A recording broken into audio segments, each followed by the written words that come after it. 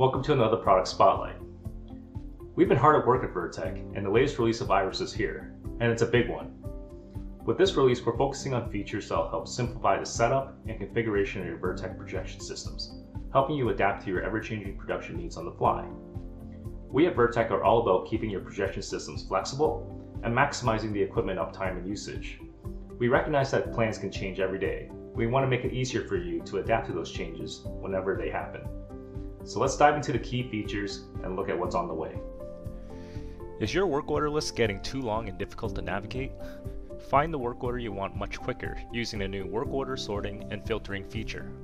Simply type in the name of the work order you want to open, and Iris will filter the list down to those that match what you're typing. This will help you get up and going much quicker, while reducing the chances of opening up the wrong job. Need to use your projector somewhere else? You can now give your projectors familiar names that make them easier to identify. If a projector needs to be replaced in your system, Iris can automatically migrate settings such as your work cell assignments, target configurations, and projected menu locations just by reassigning the name to another projector, helping to reduce downtime between setups. Allow your projection systems become more flexible using the new work cell feature. We've made it easier to define pre-configured projector combinations, which can be loaded for use with your work orders. Now your operators can easily produce parts wherever you have equipment availability, and only use the projectors required for the task. Combining that with VPS1 and FlashAlign, get up and going faster and be able to accommodate for your production planning needs. Oftentimes you may find yourself working with tools with more complex geometries. In those cases, you may find that the automatic projector assignments for your projection zones may not be sufficient, as may be the case for areas of the tool which are occluded or are inaccessible by certain projector positions.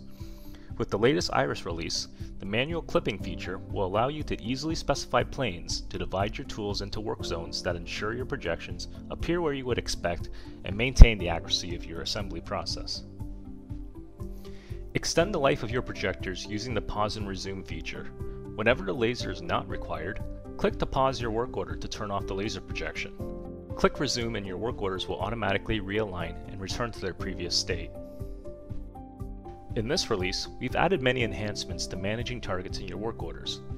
Easily skip over targets that are not accessible to the projector, while also specifying which critical targets are required for your alignment, and ensure that your operators are producing accurate parts.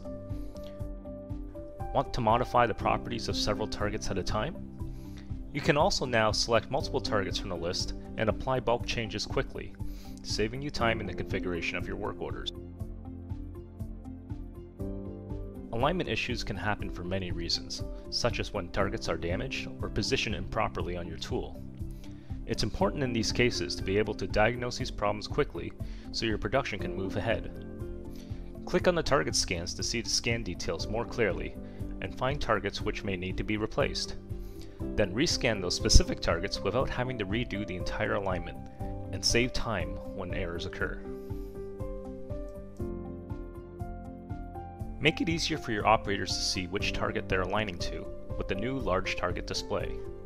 Now the target name can be clearly displayed on your screen and viewable no matter where your operator may be.